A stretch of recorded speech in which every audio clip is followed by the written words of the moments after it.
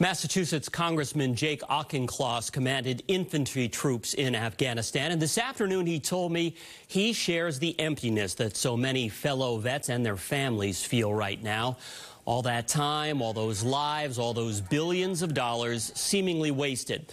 But he still believes pulling out of Afghanistan is the right decision, the best choice from what he calls a suite of bad options. You can't fight your way to a victory in counterinsurgency. You need to broker a political solution. And despite building an air force and building an army and crafting many of the organs of state for the governors in Kabul, they line their own pockets instead of delivering political statesmanship. Auchincloss believes President Biden correctly assessed that America could not sustain Afghanistan as a, quote, forever war.